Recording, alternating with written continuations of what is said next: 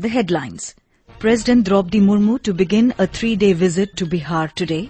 Centre approves bonus for Group C and non-gazetted Group B rank officials ahead of festive season.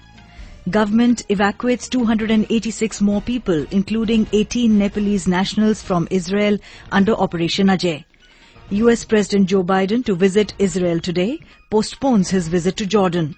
Defence Minister Rajnath Singh announces cash prizes for armed forces personnel for winning medals at 19th Asian Games.